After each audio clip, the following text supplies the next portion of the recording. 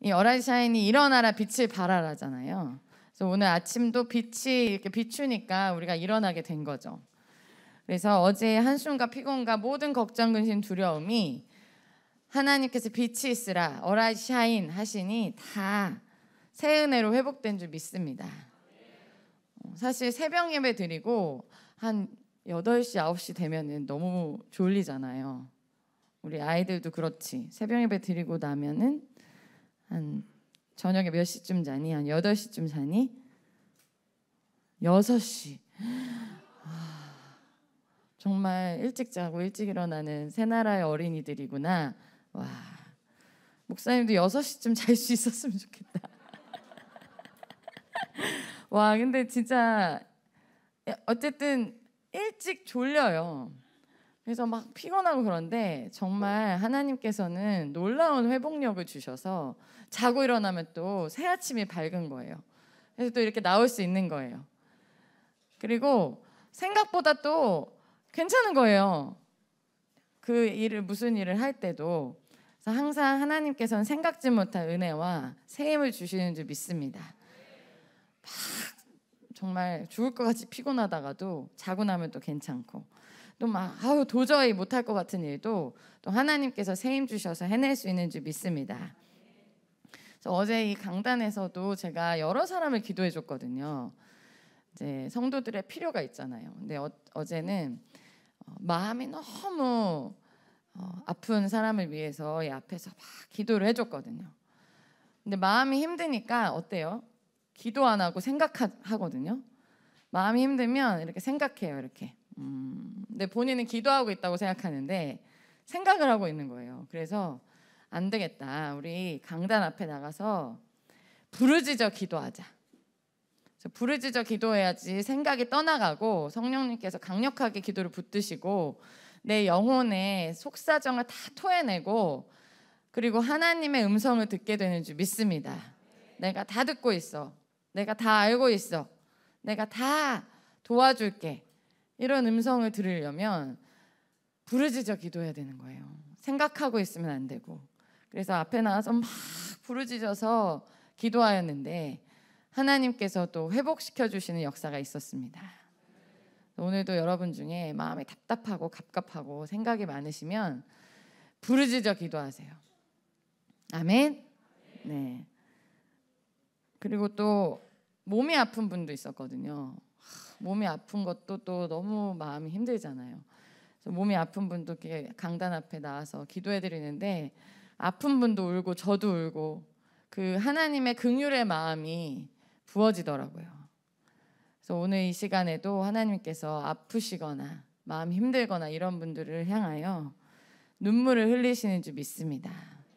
예수님도 나사로의 죽음을 보고 슬퍼하는 사람들을 향하여 함께 우셨거든요. 긍휼 긍휼히 여기시는 줄 믿습니다. 그래서 기도하면서 이 말씀을 붙들고 기도했어요. 예수님이 채찍에 맞으심으로 예수님이 채찍에 맞으심으로 자 우리 아이들도 따라할까? 목사님 보고 예수님께서 채찍에 맞으심으로 우리가 나음을 입었습니다. 네. 네. 아이들이 앞에서 너무 분주해요. 지금 막 펜을 막 서로 나누고 그 필통을 던지고 주여. 예수님께서 채찍에 맞으심으로 나음을 입은 입었다는 이 말씀을 붙들고 또 눈물로 기도할 때 몸도 회복됨을 믿습니다. 그래서 몸이 힘든 사람들, 마음이 힘든 사람들, 몸이 아프고 어렵고 걱정되는 사람들 모두 다 주 앞에 나와서 회복되는 줄 믿습니다. 그래서 마태복음 11장 28절에 예수님께서 이렇게 말씀하신 거거든요. 수고하고 무거운 짐진 자들아 다 내게로 오라. 내가 너희를 쉬게 하리라. 아멘. 예수님께 나아오면 쉼이 있는 줄 믿습니다. 네, 예수님께서 이 땅에 우리와 함께 계시지 않잖아요. 예수님께서 육신을 가지고 아직도 우리와 함께 하신다면 저 정말 예수님하고 손잡고 함께 산책하고 싶어요. 진짜. 근데 그런 시대가 아니잖아요. 지금 성령의 시대잖아요. 예수님께서 가시면서 성령을 보내주시겠다 하셨어요. 지금 성령 시대잖아요. 그래서 예수님이 우리와 함께 계시지 않으니 우리가 어떻게 하면 수고하고 무거운 짐진 자들아 다 오라고 했는데 어떻게 하면 다 수고하고 무거운 짐진 것을 다 맡길 수 있어요? 예수님이 머리 되시고 우리가 몸 된 교회로 나올 때 수고하고 무거운 짐을 다 풀어놓을 수 있는 줄 믿습니다. 육신으로 계시는 예수님을 우리가 만날 수 없으니 예수님께서 머리 되시고 또 그분의 몸인 교회로 나올 때 그 수고하고 무거운, 무거운 짐을 다 내려놓을 수 있는 줄 믿습니다. 그래서 교회가 너무 소중한 거예요. 수고하고 무거운 짐을 다 내려놓을 수 있는 귀한 곳인 줄 믿습니다. 그래서 당연히 교회에는 몸이 아프고 마음이 힘들고 수고하고 짐진 자들이 많이 오게 돼 있어요. 그래서 막 어떤 사람들은 아, 다 세워지고 일꾼이 왔으면 좋겠다. 막 우리 목장에 건강한 사람이 왔으면 좋겠다. 부목자 할 사람이 왔으면 좋겠다. 막 이렇게 얘기하 기도 하는데 뭐 물론 그것도 개인적인 바람이겠지만 사실은 교회는 수고하고 무거운 짐진 자들이 많이 모이게 돼 있어요. 그리고 이런 사람들이 회복돼서 일꾼이 되는 것이 가장 건강한 교회의 모습인 줄 믿습니다. 그래서 이렇게 마음이 힘들고 몸이 아프고 어려운 사람들이 많이 와서 회복을 누리고 그리고 성장하고 또 그들이 또 교회를 돌보고 또 다음에 오는 수고하고 무거운 짐진자들을 다 케어하는 그런 교회가 건강한 교회인 줄 믿습니다. 그런 교회가 우리 교회인 줄 믿습니다. 그래서 이런 교회의 탄생은 사도행전 2장에 나와 있는데요. 사도행전 2장에 보니까 그 초반부터 2장 초반에 오순절날 성령님께서 강력하게 임재하셨거든요. 그 후에 교회가 생긴 거예요. 그래서 강력한 성령의 임재 후에 교회가 생겼기 때문에 우리 교회도 성령님께서 뜨겁게 임하시고 교회가 생기고 부흥하였고 선교주에서도 뜨거운 성령의 역사에 따라서 일꾼들이 세워지고 부흥한 줄 믿습니다. 그래서 이번에 우리 여름 선교 갈 때도 성령님께서 다시 한번 강력하게 선교지들에 임재하셔서 교회의 일꾼들이 세워지고 교회를 개척하 아, 학교를 개척하는 일꾼들이 세워지기를 축원합니다. 저 강력하게 성령이 임재하니까 그 성령의 임재 후에 뭐가 나타나냐면 성령님이 임하시고 나니 예수님 얘기를 하지 않을 수 없는 거예요. 예수님 이야기하기가 겁났던 베드로가 예수님을 이야기하기 시작한 거예요. 그래서 예수님이 약속하신 그 말씀대로 된 거죠. 성령을 받으면 권능을 받고 예루살렘과 온유대와 사마리아와 땅 끝까지 이르러 내 증인이 되리라. 예수님의 증인이 될, 될 거라고 나의 증인이 될 거라고 하셨는데 정말 그대로 성령 받고 났더니 예수님 이야기를 하게 되는 거예요. 그래서 베드로가 사실 오늘 읽은 말씀 그 전에 계속 외침 전도를 한 건데 이 외침 전도의 내용이 이거예요. 36절에 보면 이스라엘 온 집은 확실히 알지니 너희가 알아야 될 게 뭐냐면 너희가 십자가에 못 박은 그 예수님이 주와 그리스도라 이렇게 선포하는 것입니다. 따라해 볼까요? 예수는 주와 그리스도시다. 네, 원어로 보면 이 주가 여호와라는 말이에요. 그러니까 예수님이 하나님이시고 그리스도라는 것은 이 유대인들이 계속 평생 오랫동안 기다렸던 메시아인 거예요. 우리를 구원하실 분, 우리의 구원자. 그러니까 하나님이시며 우리가 기다리던 그 구원자라는 것을 정말 담대하게 선포하는 거예요. 근데 담대할 수가 없는 게 사실 이때 어, 로마법으로 처형됐기 때문에 처형된 사람을 따라다니는 게 무슨 자랑, 자랑이에요. 그리고 예수님이 하나님이시고 예수님이 그리스도시다, 메시아다 이렇게 전하는 게 사실은 핍박받을 일인데 베드로가 이렇게 전하였고 그 이 말을 듣고 다들 코웃음을 친 게 아니라 이 37절에 보면은 이 말을 듣고 마음에 찔렸다고 했어요. 사실 지금 제가 설교할 때도 여러분의 마음이 찔려서 회개하고 성령이 뜨겁게 역사하면 제가 진짜 엄청난 설교자인 거죠. 마음이 찔리시나요? 네. 베드로의 이 설교를 듣고 마음이 찔렸다는 거예요. 이게 은혜인 거죠. 말씀을 들었는데 아무 반응이 없으면 이게 얼마나 안타까운 일이에요. 근데 말씀을 듣고 마음이 찔렸다는 거예요.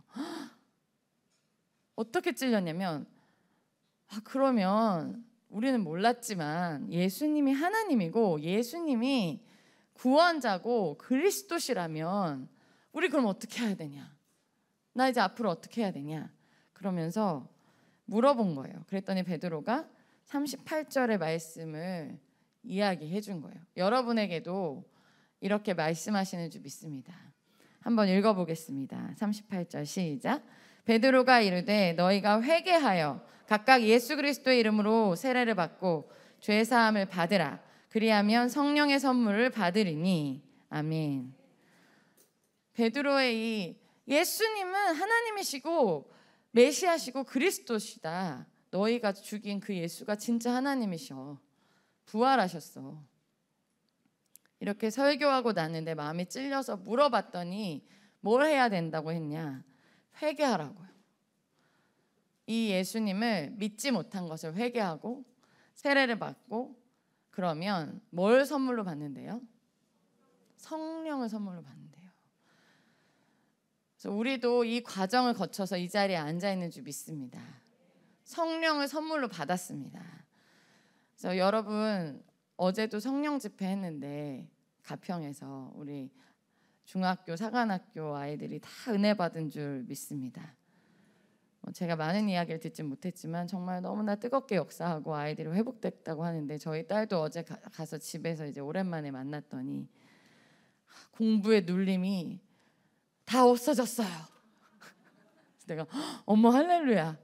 근데 저는 한 번도 누른 적이 없는데 왜 이렇게 눌렸는지 저는 한 번도 너 공부 잘해야 된다 얘기한 적이 없는데 네 정말 그거는 성령의 역사죠. 사실 그 아이가 가장 당면한 문제가 공부니까 그 당면한 문제가 해결됐다니까 할렐루야입니다. 성령의 강력한 임재로 모든 것들이 회복되고 해방되고 자유해지는 줄 믿습니다. 이 강력한 성령의 임재를 통하여 교회가 생긴 거죠. 그리고 이 말을 듣고 어 그래요 나 예수 믿고 침례 받고 믿겠다 이런 사람이 3천 명이 생겼다는 거예요. 와, 저희 이번 주 토요일 날 새싹 목자들과 그 여러분 전도 갈 거거든요. 여러분 전도가 뭐냐면 거리에서 여러분 저는 예수님을 믿습니다. 이 예수님이 저에게 어떤 분이신지 아십니까? 이러면서 간증하는 거예요. 외침 전도 하는 거거든요. 근데 이게 보통 용기가 필요한 게 아닌데 이걸 하다가 눈물이 탁 나요. 아, 내가 예수님을 얼마나 사랑하는지 내 스스로 점검해 볼 수 있어요. 얼마나 내가 이 예수님을 외치는 이 마음이 연약한지, 아, 내가 내 사랑이 이렇게 부족하구나. 그러면서 막 울면서 그 예수님 믿으셔야 됩니다. 이러고 소리 지르고 이제 끝내는 거거든요. 근데 베드로가 예수님 믿어야 된다고 외침전도 하고 나니까 3천 명이 몰려왔다는데 저희 새싹 목자들이 몇 명이야? 12명이니까 3천 곱하기 12는 해야 되겠네요. 네. 성령님께 사로잡혀서 전도한 베드로에게 하나님께서 영혼을 붙여주신 것처럼 우리 이 자리에 계신 여러분 한 분 한 분에게 성령님께서 강력하게 임하셔서 영혼을 붙여주실 줄 믿습니다. 믿는 자가 날마다 더할 줄 믿습니다.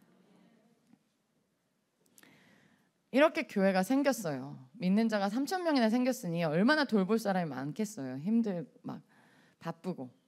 그래서 교회가 생겼는데 이 교회의 모습이 모습이 어땠냐 보니까 42절에 이 사람들이 이 3천 명이 나 예수 믿겠다. 회개하고 침례 받고 성령 받은 이 사람들이 모여서 뭘 했냐? 사도들, 목회자들의 가르침을 받아 서로 교제하고 밥도 해 먹고 또 뭐에 힘썼대요? 기도하게 힘썼대요. 우리 교회 모습이죠. 모여서 같이 밥해 먹고 그리고 모여서 또 기도하고 또 새벽 예배 나와서 또 열심히 기도하고 성경에 나온 교회의 모습을 어, 하나님께서 우리에게도 그대로 주신 줄 믿습니다. 지금 성경대로 살고 계시는 거예요, 지금.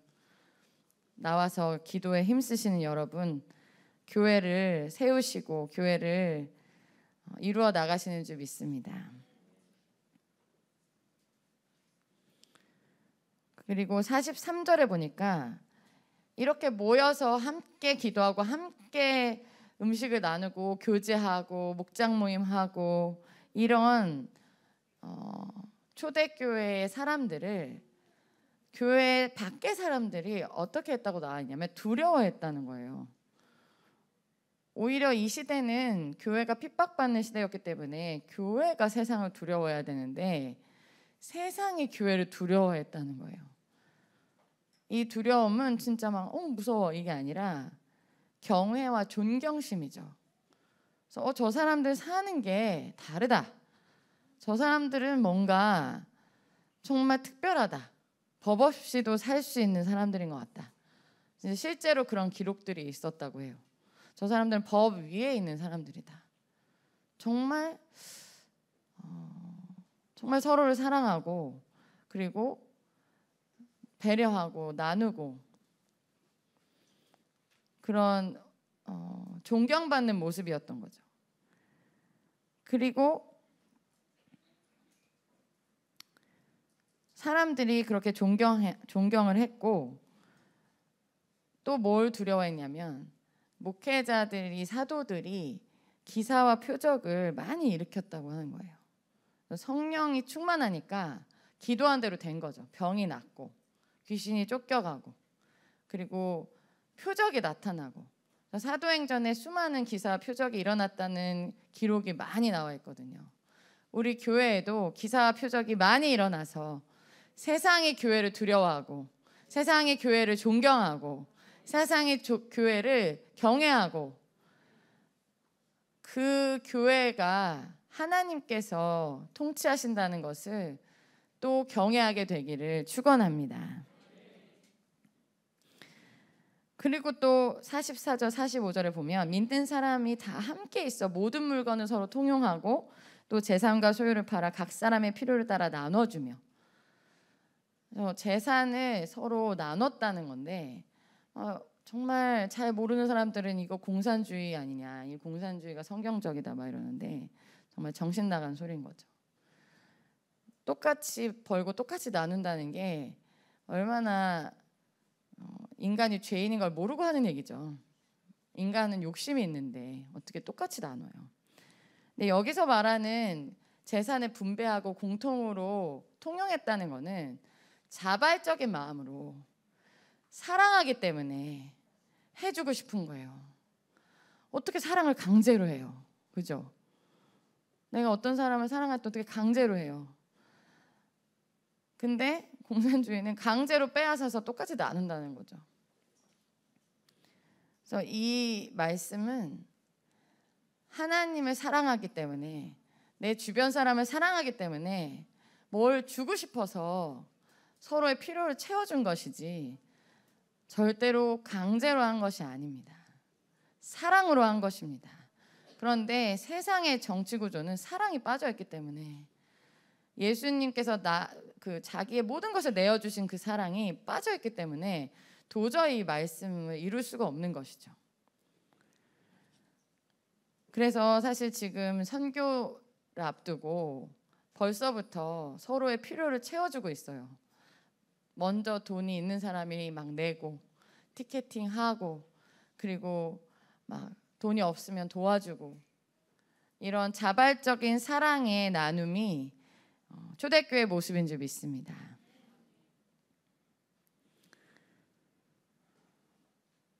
그리고 46절, 47절에 보면 날마다 마음을 같이 하고 성전에 모이기를 힘쓰고 말씀을 지키시는 여러분 하나님을 기쁘시게 하고 있습니다. 날마다 날마다 마음을 같이 해서 성전에 모이신 거죠. 그리고 음, 떡을 뗐다는 것은 성찬 애찬을 했다는 것이고 또 음식 해 먹고 그리고 교제하고 그리고 47절에 하나님을 찬미하며 모여서 세상 얘기한 것이 아니라 와 옷이 어떠니? 주식이 어떠니? 요새 비트코인이 어떠니? 이런 얘기가 아니라 모여서 하나님을 찬양하고 높이더라는 거예요. 이런 모습을 보고 온 백성이 칭찬을 했고 그 세상의 교회를 경외하다 보니 교회에 믿는 자들이 날마다 날마다 더했다고 합니다. 우리 교회에도 여러분의 목장에도 이러한 부흥이 있기를 축원합니다. 우리가 갈 선교지에도 이런 부흥의 역사 날마다 날마다 구원받는 사람이 더하는 역사가 있기를 축원합니다. 우리가 열흘이나 일주일 갔다 와서 어떤 변화가 있을까 생각할 수 있지만 날마다 날마다 믿는 사람이 더한다고 한 이 초대교회의 역사가 그대로 선교지에 있기를 축원합니다.